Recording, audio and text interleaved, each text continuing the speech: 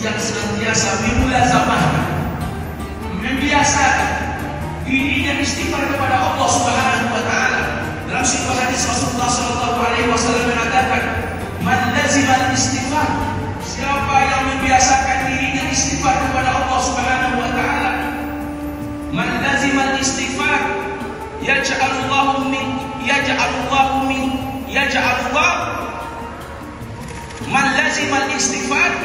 ja'alallahu min kulli min kulli mahwajah wa yarzuquhu min haitsu la yahtasib. Siapa yang membiasakan dirinya istighfar kepada Allah Subhanahu wa taala, maka Allah Subhanahu wa taala akan memberikan kepada dia solusi dalam setiap masalah yang Siapa yang membiasakan dirinya istighfar kepada Allah Subhanahu wa taala? Istighfar astaghfirullahaladzim